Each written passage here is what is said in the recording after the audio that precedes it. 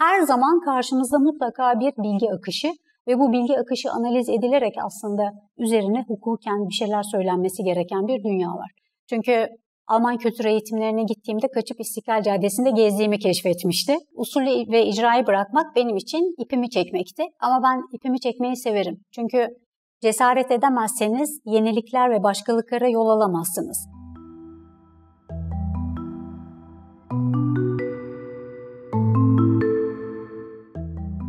Ben Furkan Güventaş'tan. Hukuk Atölyesi başlıklı bu podcast serisinde alanında usta olan isimlere yalnızca yöntemlerini soruyorum.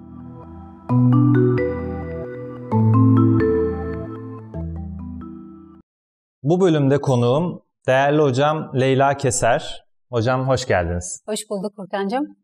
Bugün Leyla Hoca'yla bilişim ve teknoloji hukuku alanındaki yolculuğunu ve özellikle Türkiye'deki hukukçular için bu alanın metodolojisini konuşacağız. Hocam ilk soruyla ben başlamak istiyorum. Ben şunu biliyorum, siz e, ilk başta Medeni Usul Hukuku e, kürsüsünde başladınız akademisyenlik hayatınıza. Ancak sonrasında bilişim ve teknoloji hukukuna geçişiniz söz konusu oldu. Merak ettiğim şey neden bilişim ve teknoloji hukukunu seçtiniz? Sizi bu alana iten şey neydi? Yenilik ve başkalık, başka değişik bir şey yapma heyecanı ve arayışı diyelim. Usul ve icra kürsüsü güzeldi. Fakat beni bilişim hukukuna götüren bir yolculuk oldu o süreç. Dolayısıyla o süreçteki herkese şu an teşekkür ediyorum. İyi ki süreçte benim sıkılacağım konularla uğraşmışım. İyi ki heyecan verici konulardan aslında oluşmayan bir dünya ile buluşmuşum. Klasik e, maddesi, yargıtay kararları belli şeyler çok benim hoşuma gitmiyor. Dolayısıyla Beni iten sebep temel olarak aslında buydu. Yenilik ve değişiklik ihtiyacı. Peki hocam e, doktora tezinizi tamamladıktan sonra mı yani bilişim ve teknoloji hukuku dünyasına adım attınız? Doktora tezimi tamamladıktan sonra ben Marmara Üniversitesi'nden ve bu kürsüden ayrılırım. Çok uzun yıllarca telaffuz ettiğim bir şeydi. Fakat bilişim hukuku yolculuğu aslında Almanya ziyaretlerim sırasında başladı. Almanya ziyaretlerimde e, üniversitemizde de iki defa misafir ettiğimiz Herbert Burkhardt Hoca ve henüz daha misafir edemedim ama davet ettim. Ee, tekrar burada da tanıştırmak istiyorum bilişim hukukçularıyla. Thomas Hören Hoca. Ee, çalıştığım üniversite Münster'de ee, ama Almanya'da e, belki Thomas Hören'la aslında başladı. Çünkü bilişim hukuku ve Thomas Hören'ın şeyi de e, teoloji okumuş, arkasından hukuk fakültesi okumuş ve sonra bilişim hukukuna doğru yol alan bir kişilik. Thomas Sowell'la beraber e, başlayan süreç, onun yeni yani çalıştığı makaleler, vermeye çalıştığı, hazırladığı dersler e, ne oluyor sorusu, bu alan ne acaba diye bir araştırmaya itti beni. Dolayısıyla yani 93'ten itibaren aslında benim Almanya'da olduğum zamanlar bilişim hukuku yavaş yavaş oralarda tohumları serpiliyor ve yeşeriyordu. Ee, özellikle 98 yani benim doktora tezimi verip Marmara'dan ayrıldığım vakit Dönüp e, Amerika'ya da baktığımızda Harvard Berkman Center'ın kurulduğu tarih. Ya da dönüp Avrupa'ya baktığımızda e, yavaş yavaş Leuven Üniversitesi'ndeki Bilişim Hukuku Araştırma Merkezi ki Avrupa'nın en eski Bilişim Hukuku Araştırma Merkezi orası. E, artık akademik anlamda aslında araştırma merkezleri şeklinde bir oluşumların da daha böyle bir şekillendiği yıllar. Dolayısıyla 98 e, aslında bilişim hukuku anlamında Avrupa'nın ve Amerika'nın yolculuğu daha ileri aşamalara götürdüğü zamanlardı. Benim biraz daha artık ben bu yolun yolcusuyum deyip Marmara'dan ayrıldığım, bağımı kopardığım tarih dünyada da bunun daha kurumsallaşmaya başladığı zamanlardı. Özellikle bilişim hukuku yolculuğundaki önemli isimlerden, Türkiye'deki isimlerden birisi belki motive etme anlamında Ejder Yılmaz Hoca. Kulaklarını çınlatıyorum hocamın burada. Ejder Hoca doktora tezi yazarken konunun zor olduğunu, daha basit konular seçmeme salık vermişti. Dinlememiştim. Ben bunu çalışacağım demiştim. Daha sonra döndüğümde Marmara'dan ayrılıp bilişim hukuku yolculuğuna başladığımda yine haber vermiştim. E, desteği ondan gördüm her zaman. Dolayısıyla e, Ejder Hoca benim için hukuk hayatımda destekleyici, pozitif eleştiri yapmak nedir konusunda e, akademik anlamda çok şey öğrendiğim meslektaşlar arası etik ve yaklaşımlar bakımından e, önemli hocalardan birisidir. o kuşakta da bu şekilde size destek veren bir hocanın olması sizin için ayrıca değerliydi sanırım. Kesinlikle. Çünkü Almanya'da da beraber çalıştığım diğer hocalarla konuştuğumda daha klasik hukukun temel konuları varken neden bilişim hukuku çalıştığım sorusu oradaki birçok hoca için de gerçekten soru işaretiydi. Diğer tüm disiplinlerde olduğu gibi bilişim ve teknoloji hukuku alanında da yabancı dilin önemi aşikar. Bu alanda özellikle sizin yabancı dil öğrenme sürecinizi merak ediyorum. Ve bu alanda çalışmak isteyen bir öğrenci ya da akademisyen adayı yabancı dil açısından nereden başlamalı ve nasıl bir yol izlemeli? Bilişim ve teknoloji hukukçuları özelinde konuşacak olursak %95 İngilizce kesinlikle herkesin bilmesi gereken bir dil. Ve bu alan gerçekten İngilizce üzerine dönüyor ve ilerliyor. Hangi ülkeden olursa olsun, Alman da olsa, Fransız da olsa, Çinli de olsa, işte İtalyan da olsa İngilizce yazarak aslında herkes bu alanı besledi ve İngilizce bir kabul edilmiş dil oldu. Çünkü dönüyoruz standartların dili İngilizce. Dönüyoruz temel Avrupa'dan, Amerika'dan gelen düzenlemelerin dili İngilizce. Ee, çoklu dillerde tabii ki yayınlanıyor ama ortak dil bizim dünyada gerçekten İngilizce. Dolayısıyla herkesin bir İngilizceyi e, adı soyadı gibi iyi biliyor olması ve öğreniyor olması önemli. Almanca benim için zorunlu öğrenmem gereken bir şeydi. Çünkü usul icra kürsüsünde bu alanın kaynağı Almanya'da. Senin Almanca öğrenmen gerekir dediler. E, haftada 5 gün, 5 saat, 4-5 saat bana yoğun bir Almanca eğitimi verdiler. Sağ olsun kürsüdeki hocam Ergun Önen hoca e, Almanca hocasını okulda rica ederek böyle bir şey ayarlamıştı bana eğitim. Bu benim için çok kıymetliydi. Çünkü Alman kültür eğitimlerine gittiğimde kaçıp İstiklal Caddesi'nde gezdiğimi keşfetmişti arkadaşlarımla. Bunu engellemek için okulda dizinin dibinde bir Almanca eğitimi verdirdi. 6 ay gramer e, vesaireyi falan halledip sonra ben yüksek lisans tezimde kitapları okuyarak yavaş yavaş atıf yapabilmeye başlamıştım. Ama şu an Almanlarla bile İngilizce konuşuyorum. Evet. Bu alanda hocam yaklaşık 20 yıldır çalışıyorsunuz. Yani 98'i ben esas alıyorum. Lütfen yanlışsa düzeltin. Doğru. 22 yıllık süreçte özellikle metodoloji açısından, yöntem açısından sizin ufkunuzu açan hocalar var mı bunu merak ediyorum. Aslında biraz başında siz bahsettiniz ama şimdi bunu daha da detaylandırabiliriz. E, hem hocaları hem de varsa eserleri de merak ediyorum. Yani sizin akademik perspektifinizde kırılma yaratan hocalar ve eserler hocam. Marmara'dan ayrılmak, usulü ve icrayı bırakmak benim için ipimi çekmekti. Ama ben ipimi çekmeyi severim. Çünkü Cesaret edemezseniz yenilikler ve başkalıklara yol alamazsınız. Usul icra bitti. Ben yeni bir yolculuğun içindeyim. Bilişim ve teknoloji hukuku. Adı bu ama bu nedir? Hukukta alt disiplinlerden biri midir? Yoksa bilişim ve teknoloji hukuku bir metot mudur? E, nedir sorusunun cevabını o dönemlerde ben de arıyordum. Çünkü nerede duracağım? Burada da aslında okyanusun iki tarafında yine iki önemli isim var. Avrupa tarafı Herbert Burkert 2014 e, tarihli makalesinde bunu çok net olarak ortaya koydu. Bu bir disiplin değil bir metottur dedi.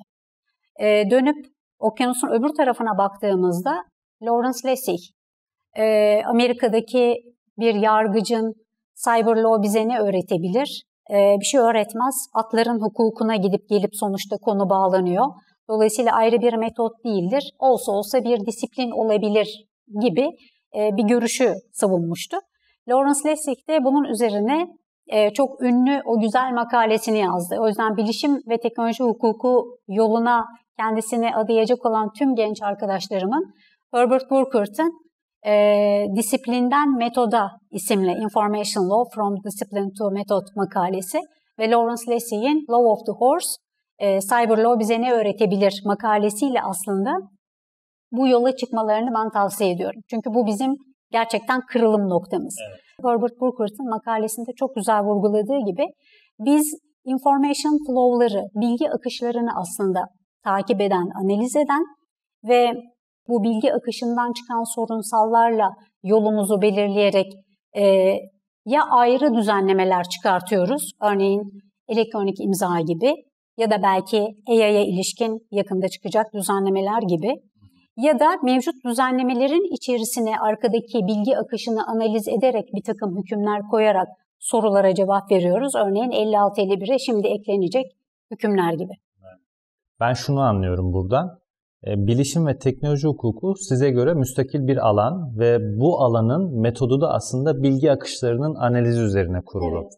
Yani diğer disiplinlerde örneğin medeni hukukta ya da sözleşme hukukunda irade özelliği prensibi üzerinden bir yorum yapılıyorken bilişim hukuku da bilgi akışları üzerinden bunların analiz edilmesi üzerine bir metot geliştirmiş durumda. Dolayısıyla ayrı bir metodu olması itibariyle bilişim ve teknoloji hukukunun müstakil bir alan olduğunu söylüyorsunuz. Biz bugün IoT'ye de baksak bir teknoloji, yeni bir teknoloji ya da 5G'ye de baksak dönüp arkada sürekli o bilgi akışlarını analiz etmek zorundayız.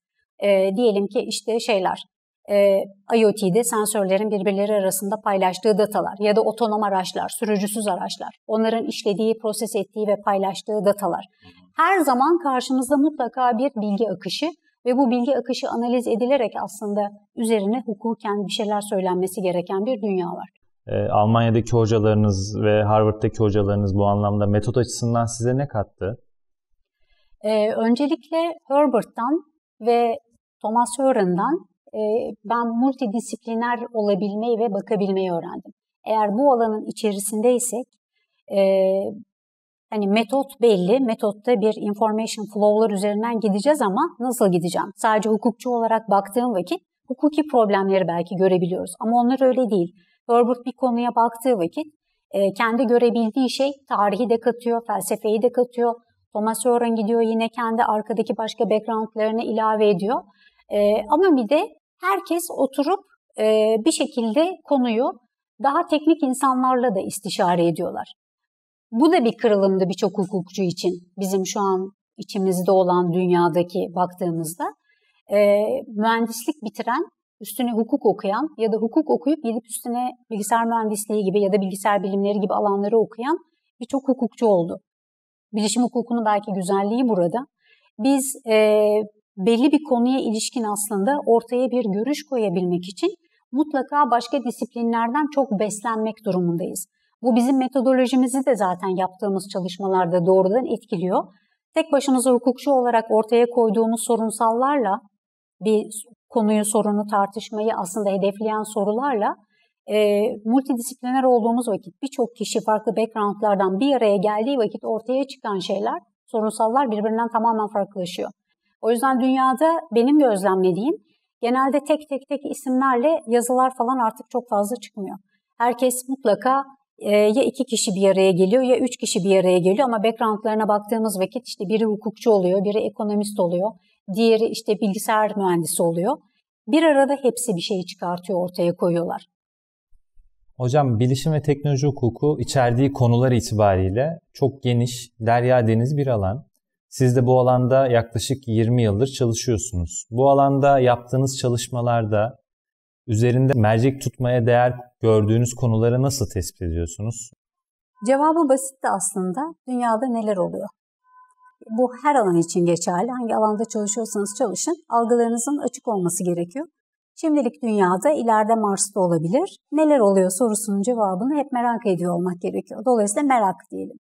Dönüp hani dünyaya baktığımızda bir yeni gelişen teknolojiler neleri çalışmamız gerektiğini ışık tutarken diğer tarafta da e, bu teknolojilere odaklı ya da bu teknolojilerden bağımsız daha böyle bir gelecek projeksiyonları yapan coğrafyalar bize fikir veriyor. Ee, örneğin yüz tanıma ve yüz tanımının e, yasaklanması ya da buna izin verilmesi ama özünde neden yüz tanımı sorun yaratıyor, problem yaratıyor gibi bir konu oturup üzerinde işte kafa yorulması gereken işte biyometrik veri, biyometrik verinin nasıl ve ne şekilde kullanılacağı sorusu gibi bir konu bir anda gündemimizde olabiliyor. Bazen de üzerinde emek sarf edilmesi gereken miktardan çok daha fazla emek sarf edilen konular oluyor. Zannediyorum unutulma hakkı bunlardan bir tanesiydi. Dünyada çok popüler oldu ve herkes unutulma hakkı çalışmaya başladı. Ya da bir teknoloji örneğin işte yapay zeka teknolojisi sürekli konuşulan, tartışılan bir mevzu. Ama henüz tam anlamıyla bu işin teknik altyapısı da oturmadığı için acaba bunun hukuki altyapısını bugün çalışmak gerekir mi ya da buna ne zaman çalışmaya başlamak gerekir? Bir hani uzgörü geliştirebilmek için o konuya ilişkin aslında bir zaman gerekiyor. Yani bu konu trendtir ben bunu yazayım dediğinizde 2-3 tane makaleyi okuyup bir şey yazıyorsunuz ortaya ama arka tarafında ne döndüğünü işin ya da gerçekten çok farklı boyutlarını göremediğiniz için kısır çalışmalar çıkıyor ortaya. Dolayısıyla bu tür çalışmalarda ben bunu zamanla yaymayı tercih ediyorum. Gözlemlemeyi tercih ediyorum. Anlamamız gerekiyor bizim bilişim ve teknoloji hukukçuları olarak. Anlamak da zaman ve aslında emek istiyor. Ee, ve aslında farklı bakış açıları geliştirmemiz de gerektiriyor o süre içerisinde. Yani hocam aslında şunu söyleyebiliriz. Evet teknoloji çok hızlı gelişen, değişen bir süreç ama yıkıcı teknolojiler açısından bunun hukukunu ya da regüle edilmesini konuşurken, yazarken, tartışırken bunun ilk önce en azından belli prensiplerinin oturması ve bu prensiplerin oturma sürecinde teknolojinin de izlenmesi gerekiyor şeklinde algılıyorum ben. Kesinlikle.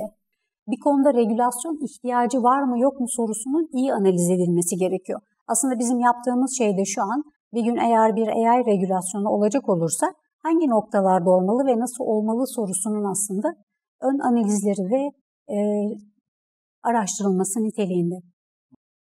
93'ten alırsak yaklaşık 30 yıldır akademinin içinde e, biri olarak sormak istediğim husus sizi bu kadar süre içerisinde en çok şaşırtan şey neydi? Genç nesilleri bir hocanın görevi, Ejder Hoca'nın çok güzel ifade ettiği gibi genç nesilleri yetiştirmek, kendisinden sonra gelen jenerasyonu yetiştirmek. Bu misyon çerçevesinde de paylaşımın, akademik paylaşımın önemli olduğunu düşünüyorum. Bir gün ihtiyaç duyduğum bir kitap, yüksek lisans tezimde atıp yapmam gereken, hocanın kütüphanesinde kitabı rica ettim. Kitabı benimle paylaşmamıştı. Ben kullanıyorum ya da işte hani işim var, e, lazım kitap bana gibi bir gerekçeyle. Sonra ben kitabı kendi imkanlarımı kullanarak Almanya'dan getirtmiştim ve e, oturup atıf yapmıştım. Ama bana garip gelmişti. Bir hocanın e, kendisinden sonraki işte jenerasyon, onun asistanları, asistanın ihtiyaç duyduğu bir şeyde ve kendisinde olan bir bilimsel eserde onu saklaması bana çok garip gelmişti. Sonra Almanya'ya gittiğimde akademisyenlerin Alman versiyonlarını gördüğümde orada beraber çalıştığım hocalar da benim çalıştığım konuyla ilgili evde kendi kişisel kütüphanelerinden okumamın faydalı olduğunu düşündüğü eserleri stickerlar yapıştırarak her yeriyle zaman harcama zaten çok şey okuman gerekiyor. Şu bölümler senin için önemli diyerek her gün kolunun altında bana dünya kadar dergi ve kitap taşıdığını gördüğümde e, nasıl bir hoca olmam gerekir, nasıl bir akademisyen olmam gerekir ve benim asistanlarımı ya da beraber çalıştığım akademisyenleri nasıl yetiştirmem gerekir sorusunun cevabında bunlar beni şaşırtan örneklerdi. Bilişim ve teknoloji hukukunun kurumsal yapısına geçmek istiyorum. Siz Türkiye'deki bildiğim kadarıyla bilişim ve teknoloji hukuku alanındaki ilk enstitünün ya da o zamanki ismiyle araştırma merkezinin kuruculuğunu yaptınız. Neden bir enstitüye ihtiyaç duyuldu? Buradan başlayabiliriz. E, tarih 2004, 98'den 2004'e kadar e, ben hani bireysel olarak çalışıyorum, ediyorum. Bilgi Üniversitesi'nde dersler açıyoruz, öğrencilerin ilgisini görüyoruz. Ama artık kurumsallaşalım deyip 2004'te YÖK'e başvurup bir araştırma merkezi kurulmasını istedik. İzin verdi. Araştırma merkezlerinde çok problem olmuyor, tartışılmıyor. E, izni aldık. Fakat o bir milattır bizim için. Sadece araştırma merkezi olarak kurulmakla kalmadı. Biz araştırma merkezini kurarken arka tarafta bir model çalışması da yaptık. Model çalışması da acaba nasıl bir araştırma merkezi olsun? Neye odaklansın? Ne tür rolleri ve fonksiyonları olsun? Sorularını yanıtlamaya çalışıyorduk. Karşımızda Harvard Berkman Center vardı. Charles Nesta'nın 98'de kurduğu ve Avrupa'da da Leuven Üniversitesi'nde Jos Mortier'in kulakları çınlasın ikisinin de e, onun kurduğu bir araştırma merkezi var. Dolayısıyla bir benzeri de Türkiye'de kurulmuş oldu. İçinde iki tane Amerikan ve Avrupa aslında yaklaşımlarının harmanlanmış şekli var.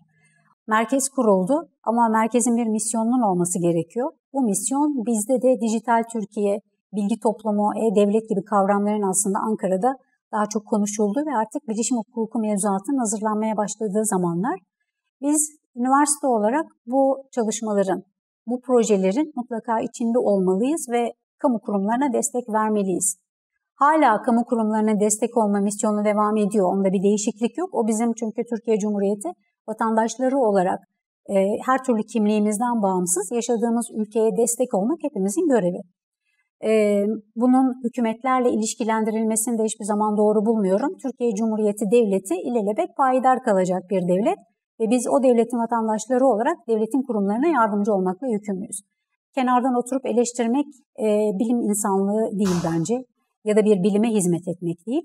Eleştirmek tabii ki olacak ama eleştirdiğimiz şeyi gidip oradakilerle beraber çalışıp, orada savaşıp, onlarla beraber onları açıklayıp, anlatıp, farklılaştırıp değiştirebiliyorsak keyifli ve güzel. Yani sonuç almayı seviyorum ben. Bir kenarda bir şey söylemeyi değil. Dolayısıyla o tarafı, enstitünün o misyonu hep devam etti ve edecek. Bizden sonraki arkadaşlara da aslında hep onu söylüyoruz.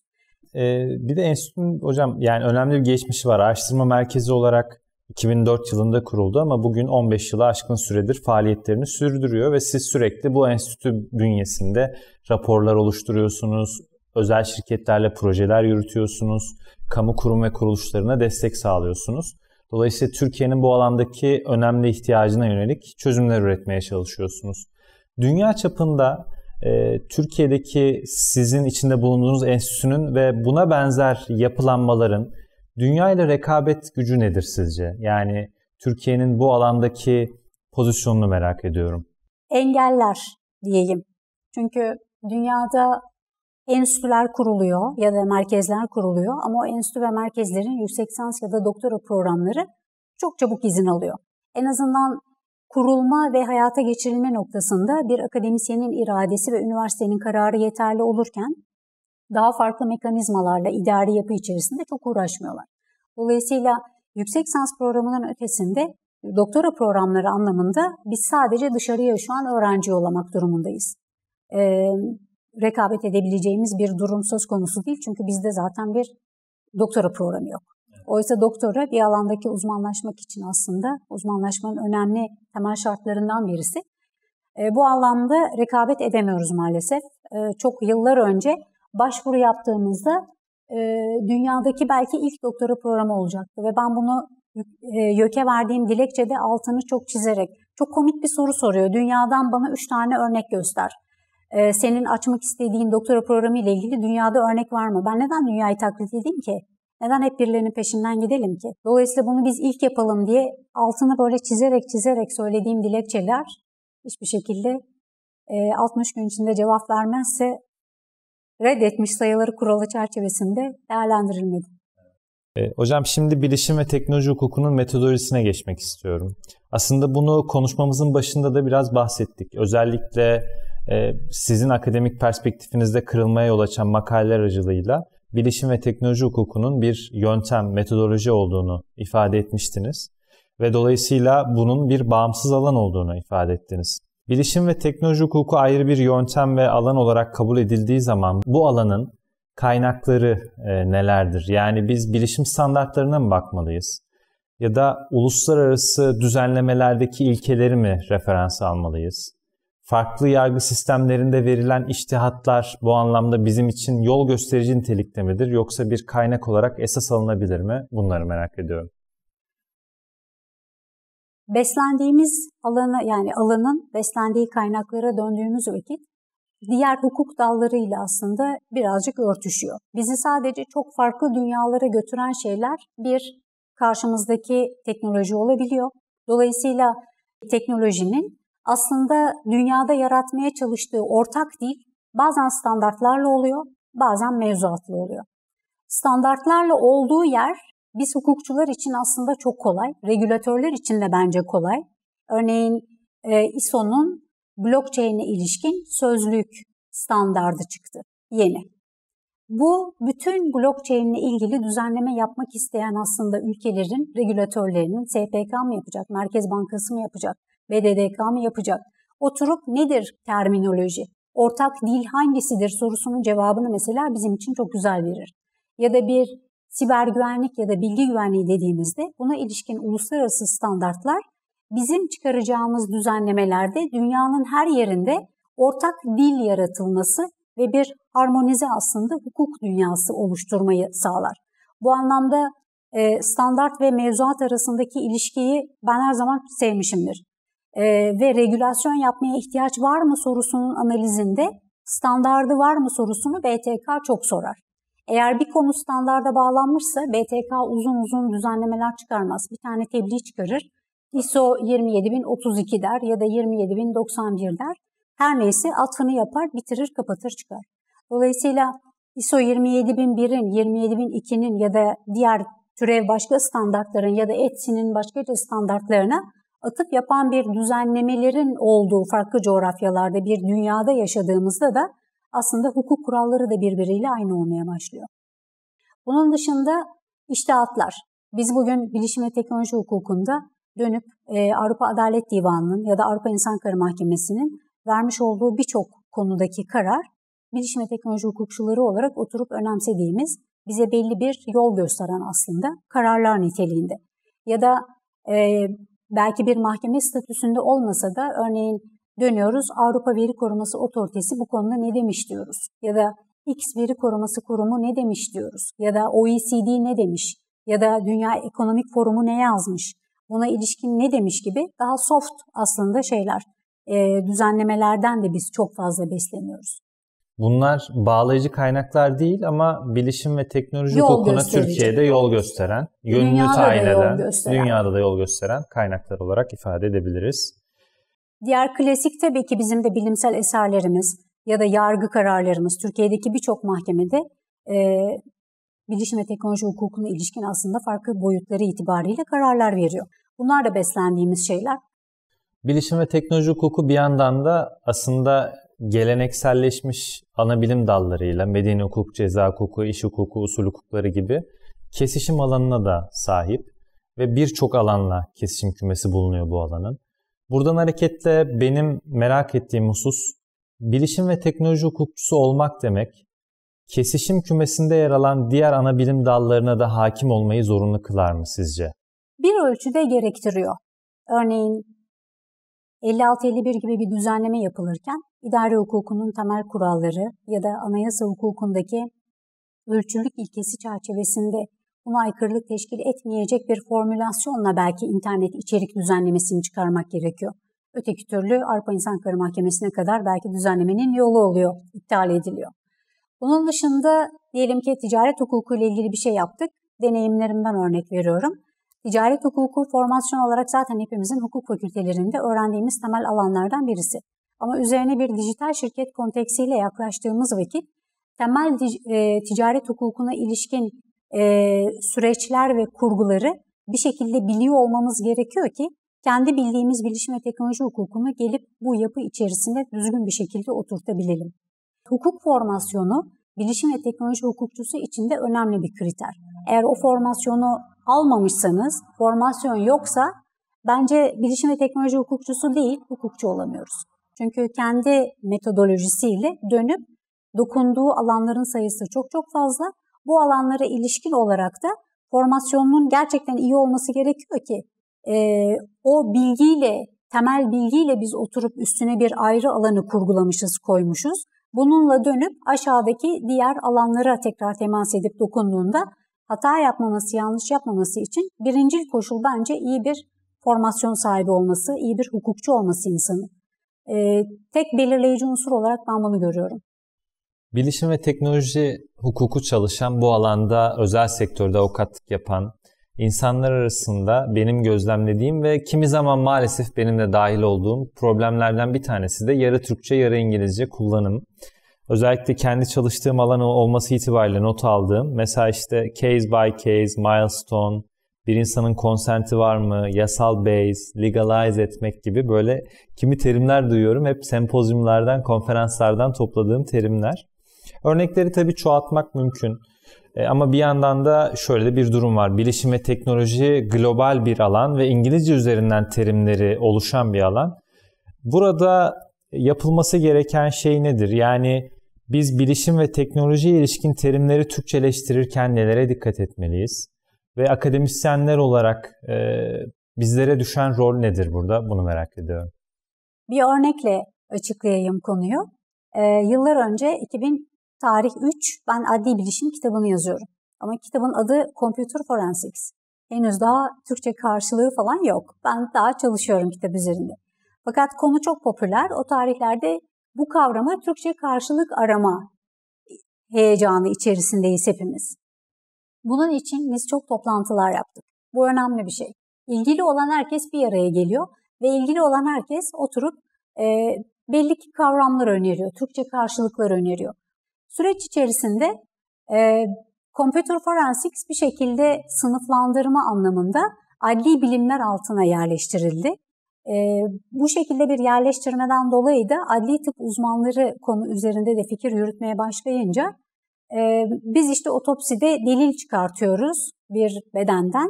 Siz de bilgisayarı işte analiz ederek, inceleyerek içerisinden data çıkartıyorsunuz. Bu adli tıba çok benziyor, otopsiye çok benziyor. Bilgisayar adli tıbı olsun bunun adı gibi kavramlar da geldi. Tabii kavramın bilgisayar adli tıbbını konferanslara çıkıp konuşuyorsunuz. Yazdığınız yazılarda söylüyorsunuz ama insanlardan geri gelen şeyler yani feedbacklere baktığınızda e, çok da yerleşmiyor. Kulağa tırmalıyor, çok beğenmedik gibi geri dönüşler geliyor. Bunun üzerine devam ediyorsunuz tekrar toplantılara ve kavram arama çalışmalarına. Sonra birisi bir gün bilgisayar, e, işte computer forensics için adli bilişim diyor. Adli bilişim yerleşiyor ve tutuyor. Bu da bir süreç. Ama ne olursa olsun bilişim ve teknolojiye ilişkin kavramlar mümkün olduğunca Türkçeleştirilerek kullanılmalı diyorsunuz değil mi? Bizim dilimiz Türkçe ve Türkçe keyifli ve güzel bir dil. Diller tarihine bakıldığı vakitte bu dünya üzerindeki eski dillerden birisi. Dolayısıyla bunlarla hep gurur duyuyoruz biz. Dolayısıyla tabii ki Türkçeleştirilmesi ve dilin zenginleştirilmesi de bu anlamda önemli. Buna ilişkin Türkçe kavram arama ve bulma çalışmaları da hukukçular olarak, bilişim ve teknoloji hukukçuları olarak bizim işimizin aslında diğer bir parçası. Bilişim ve teknoloji e, alanındaki kuralların tamamı doğası gereği e, bilişime, teknolojiye temas eden e, hususları içeriyor. Burada özellikle teknolojiye temas eden bir hukuk kuralı oluşturulurken yöntem bakımından sizce nelere dikkat edilmeli? Bir düzenleme yapılırken, bir mevzuat hazırlanırken, teknoloji odaklı özellikle bir mevzuat hazırlanırken teknoloji nötr olması bu mevzuatın bizim için çok temel kriterlerden birisi. O yüzden yazdığımız örneğin elektronik imza kanunu teknolojiyi anlatır. Bir elektronik imza teknolojisinin nasıl çalıştığını anlatır. Kayıtlı elektronik posta bir teknolojiyi anlatır. Dolayısıyla bu teknolojiyi anlatan düzenlemeler içerisinde bizim teknoloji nötr duruyor olmamız ve sadece aslında fonksiyon ve işlevleri ve ona bağlanan hukuki sonuçları tanımlıyor olmamız önemli. E, regulatory sandbox'lar aslında e, pazara daha yeni oyuncuların daha rahat girebilmesini sağlamak amacıyla bir düzenleme hazırlanırken ya mevcut düzenlemeden farklı yaklaşım şekilleri olabiliyor farklı coğrafyalara göre ya mevcut kuralları diyelim ki GDPR'ı yeni startuplar vesairelerin gelip o kurallarla yaşaması ve ona uyması mümkün olmadığı için çok ağır şartlar var. Daha temel bir çerçeve çıkartarak bu temel çerçeveye uymalarını isteyerek onların gelişme ve büyümelerini gözlemlemek ve belli bir rakamsal büyüklüğe ulaştıktan sonra ancak diğer e, ekosisteme normal uyguladıkları kurallara tabi tutmak bir yöntem olabilir. Burada önemli gördüğüm hususlardan bir tanesi de benim hocam, kuralların kalıcılığının sağlanabilmesi için e, düzenlemeler yapılması. E, İngilizce'de sanıyorum buna future proof nitelikte düzenlemeler deniyor. Bilişim ve teknoloji de yeni bir alan olduğu için e, bu kalıcılığı sağlayacak düzenlemeleri yapmak için nelere başvurulabilir ya da bu konuda bir yöntem belirlenebilir mi? Çok temel konsept ve kavramlar kalsa bile örneğin EIDAS'a baktığımda Avrupa'nın ilga ettiği elektronik imza direktifi içerisindeki temel çerçeve duruyor. Ama onun dışında şu an EIDAS yürürlük süreci de gözlemlenerek bir daha revizyona girdi. Şu an tamamen elektronik kimlik ve blockchain ağırlıklı bir dünya gelip onun içerisine gömülüyor. Dolayısıyla bizim dünyamızda bilişim ve teknoloji hukukunda e, ister bilgi teknolojileri ister elektronik haberleşme tarafı olsun. Elektronik haberleşmede haberleşme sistemleri sürekli yenileniyor. Yeni nesil elektronik haberleşme sistemleri geldikçe bizim kurallarımızın bir şekilde aslında ona göre revize ediliyor olması gerekiyor. Bu da bizim 5809 sayılı elektronik haberleşme kanunumuzun istese de aslında çerçevesinin e, aynı kalamayacağı ve başkalaşacağını bize gösteriyor. Aynı şey Avrupa'da da framework direktifler diyorlardı elektronik haberleşme ilişkin. E, revizyon geçirdi. 5G, 6G vesaire konuşuluyor. Ve hepsini oturdu. Elektronik e, Communication Code adını verdikleri başka bir şey de toparladılar. Ayrı ayrı direktifleri kaldırdılar, paketlediler ve başkalaştı. Dolayısıyla kalıcı uzun süre yani Türk Ticaret Kanunu gibi 50 yılda değişen bilişim ve teknoloji hukuku mevzuatı hayal edemiyorum. Benim gördüğüm örneklerden bir tanesi de Avrupa Birliği'nin bugün çıkarılan direktiflerinde ve bilişim ve teknolojiye temas ediyorsa eğer özellikle o direktif bir yeniden değerlendirme süresi öngörmüş. Direktifin kendi içerisinde bir hüküm olarak ben rastlıyorum buna. Yani diyor ki evet bu 2018 yılında yürürlüğe girecek ama teknolojinin değişme ihtimaline karşı 2020 yılında bu direktifin komisyon tarafından yeniden gözden geçirilmesi gerekir. Burada belki biz kendi rekorumuzu kırdık Türkiye olarak. 2004 tarihli elektronik imza kanunu Avrupa Birliği'nin ilga ettiği elektronik imza direktifine dayanıyor. Onlar EIDAS'ın revizyonuna geçtiler. Biz hala elektronik imza kanununu hiçbir şekilde revize edemedik. Yani 2004-2020 çok kabul edilebilir bir zaman aralığı değil. Hocam son olarak sormak istediğim soru e, siz bu alanda Türkiye'de e, zannediyorum en kıdemli akademisyensiniz.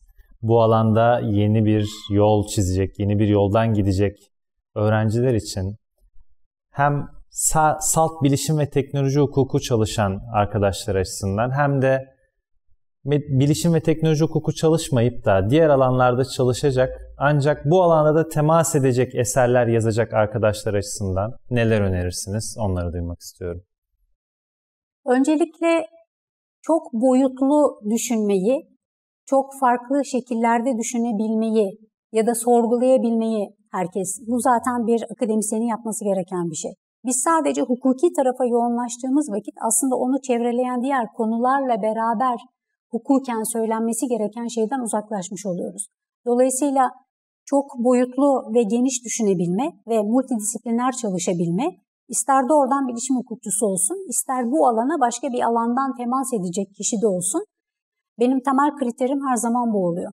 Bir şeyi çalışırken benim yanımda hep böyle ya Sabancı'daki arkadaşlarım, ya başka bilgi güvenliği ya da siber güvenlik uzmanı arkadaşlarım, ya da okulun bilgisayar mühendisliğinden hocalar, bir şekilde teknik insanlar ya da okulun iletişim fakültesinden başka hocalar ya da okulun psikoloji bölümünden hocalar. Çünkü çalışmak istediğimiz konu bazen onların bakış açılarıyla da bir şey söylememi ve değerlendirmemi gerektiriyor en azından o bakış açısını.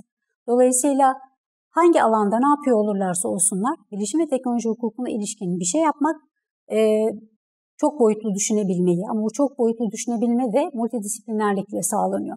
Bunu gözden kaçırmamalarını ben öneriyorum her zaman. Hocam teşekkür ediyorum. Çok keyifli bir sohbetti. Bizi de İstanbul Bilgi Üniversitesi Hukuk Fakültesi'nde ağırladınız. Ben teşekkür ediyorum Furkan'cığım. Benim için de seni burada ağırlamak ayrıca keyifli ve güzel. Çünkü seni bilişim ve teknoloji hukukunun geleceği ve genç akademisyenlerinden, başarılı akademisyenlerinden birisi olarak görüyorum. Burası yuva. Ee, hangi üniversitede olduğu kişinin bizim için önemli değil. Sonuçta Hepimiz aynı gemideyiz. Dünyada ve Türkiye'de bilimin ilerlemesi için ülkemizde ya da dünyada bir şeyler yapmayı amaçlayan insanlarız. Ee, buna kendini adayan insanlardan birisin, akademisyenlerden birisin. Ben de bunun için ayrıca çok teşekkür ediyorum sana. Yolun hep açık olsun.